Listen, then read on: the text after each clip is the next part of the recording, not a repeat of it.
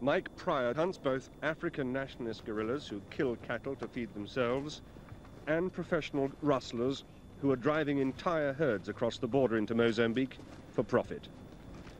He is paid to kill and he is paid well.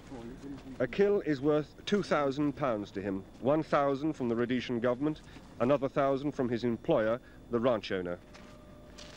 And it is left to his own discretion whether any African he sees in the bush after the 6 p.m. curfew is a guerrilla or merely someone a little late going home.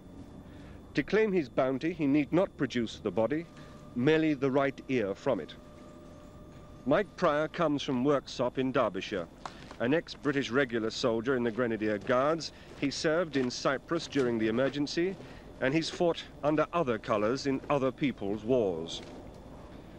He patrols at random nearly 90,000 acres with his Shona tracker, Chistiri, never at the same time two days running, sometimes during the day, sometimes at night. He says his presence is a deterrent which is working. Before he arrived here, the ranch owner was losing thousands of pounds worth of cattle a month. But they haven't lost once since he began three months ago. How long? On footpaths known to be used by guerrillas, he places his own style of booby trap. Two hand grenades connected by a taut nylon cord are placed camouflaged each side of the path. A foot tripping the cord pulls the pins out of the grenades. But most of Mike Prior's work is waiting and watching, tucked in behind a rock high up on a hill overlooking the ranch lands. From here he can see the paths that lead from the tribal trust lands into Mozambique. Here he waits for the shot that makes him 2,000 pounds richer.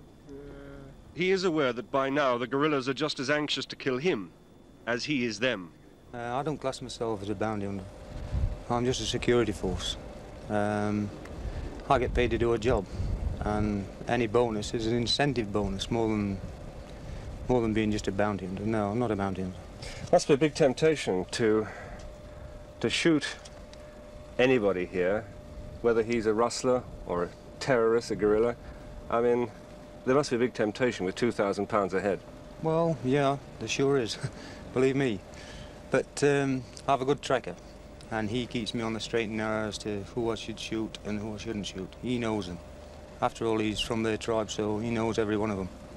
And he knows a rustler, a terror, or a guy that works for us. This week, another three guards start work in the area, just as anxious to make their bounty money. And no doubt, like Mike Prior, just as aware that it must be made fast. One way or the other, they are here on short-term contracts. Michael Nicholson, News at 10, Chiredzi in Rhodesia.